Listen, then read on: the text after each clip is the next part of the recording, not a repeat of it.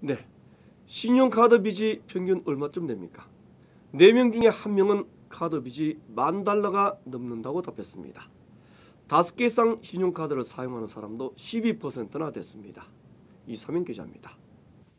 신용카드 사용자 4명 가운데 1명은 카드 빚이 만 달러 이상인 것으로 나타났습니다. US News and World Report 설문조사에서 카드 부채가 만 달러 이상이라고 응답한 사람은 24%로 집계됐습니다.